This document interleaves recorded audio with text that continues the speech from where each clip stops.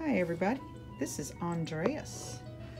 Andreas is a sweet little long-legged Chihuahua, Chihuahua mix. Hang on, hang on, let's go back in here. Let's go back in here. I know there's lots going on out there that you want to see, but you have to wait just a minute as I, because I got to get your video. We're doing videos and pictures inside because it's super cold outside.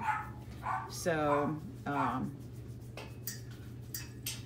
I know there's lots of noises, lots of little something something's going on. You're okay.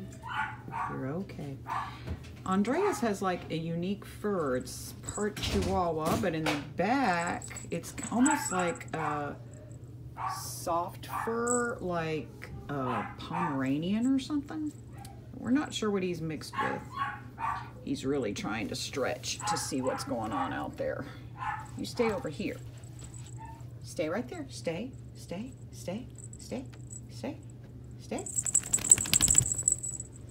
Uh, sweet little guy. He gets spooked pretty easy. We're not sure if that's because he wasn't socialized very well or, or, or maybe exposed to things outside of a certain area. I don't know.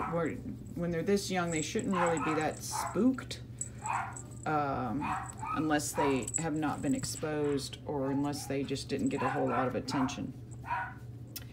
He, but he is a sweet little guy once he's comfortable with you and um, he gets along with everybody. We haven't really had any issues out of him. Uh, he's young. He's neutered now. He's up to date on everything. He's heartworm negative.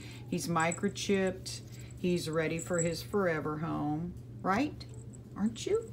It's too bad we can't go outside so you can run around and get your video that way. But instead, we're in our photo cube.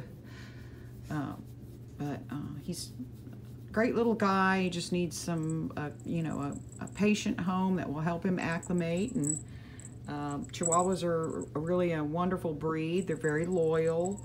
They're very protective of their person. And he's going to be no different. And you're trying to get by me, but it ain't happening. It's not happening. It's not happening. It's not happening. It's not happening. No, it's not happening. No, you can't get past my hand. You can't get past my hand. You're gonna try, you're gonna try, you're gonna try. So, anyways, that's Andreas. You know what to do if you're interested. Talk to y'all later. Bye.